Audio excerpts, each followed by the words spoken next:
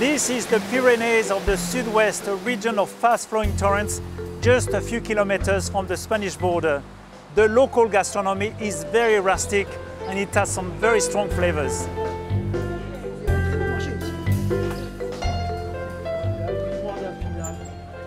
The town of Saint-Girons has one of the most colorful and charming markets of the region. The ham from the Pyrenees is one of the best in France. We know that the Spanish ham is perhaps the best in the world, but it's just over the side, so you can imagine the quality is not very different. And people really have a slice of ham at the beginning of many meals here. I've already had a couple, and they use it in omelets, they use it in cassoulet, and there's a dish of trout where they stuff the ham in the trout. One of the wonderful things about the Pyrenees region is that there's a, a large amount of wild mushroom in the forest on the side of the Pyrenees. And we have got some girolles and some bouton de guêpe. It's absolutely fabulous. It goes well with chicken, it goes well with stews, and even in a salad. The views of the Pyrenees are breathtaking. The local cows have a feast eating the rich grass and flowers of the high pastures. Not only are those cows friendly, but they also produce a superb milk used in the raw form to make a great cheese called bête malle.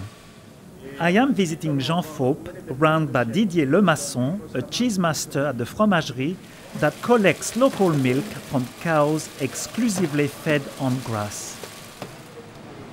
Once made, the cheese is salted by hand and ripened on pine planks for two to three months, during which it develops a natural rind.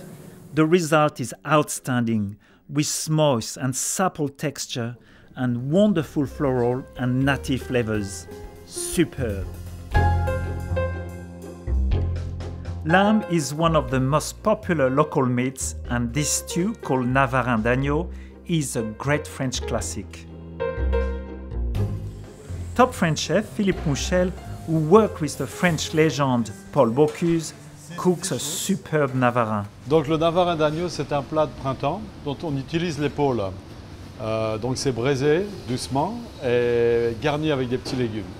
Des petits légumes de printemps le printemps et l'hiver on met ou des haricots ou alors des pommes de terre. Philippe browns about one kilo of lamb shoulders and neck pieces in a little butter and oil. He stirs in one diced carrot and one diced onion, and after a few minutes, he mixes two tablespoons of plain flour and three diced tomatoes.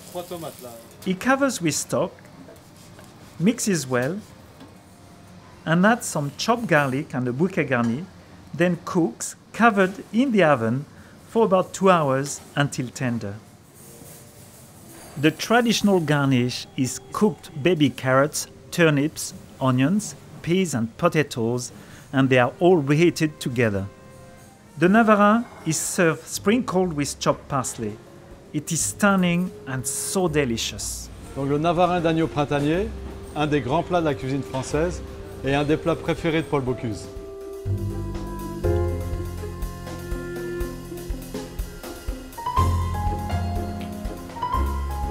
Tomorrow we arrive in the sunny Languedoc-Roussillon and we discover the very delicious specialities of the town of Sète.